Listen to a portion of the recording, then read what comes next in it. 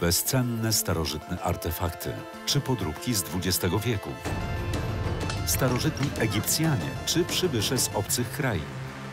Zbadaliśmy 150 mumii. Tylko w przypadku trzech udało się uzyskać pełen genom. Uwodzicielka czy mistrzyni propagandy. Nie widzieliśmy jeszcze czegoś takiego.